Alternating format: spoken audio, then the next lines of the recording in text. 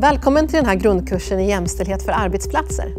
Karin Hertnäs heter jag och jag jobbar som jämställdhetskonsult.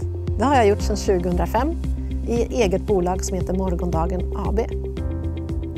Jag har tre olika verksamheter i det här bolaget. Dels så håller jag utbildningar precis på det här sättet för medarbetare, chefer och beslutsfattare. Jag utbildar om jämställdhet, om mångfald, om diskrimineringslagen. Så jobbar jag också med eh, jämställdhetsplaner och mångfaldsplaner och aktiva åtgärder på arbetsplatsen enligt lagkrav från diskrimineringslagen.